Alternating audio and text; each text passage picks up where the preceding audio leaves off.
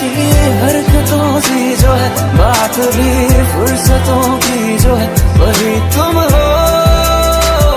जो आहट खुशियों पर चलने की, जो राहत नींद से मिलने की, जो आदत ख्वाबों के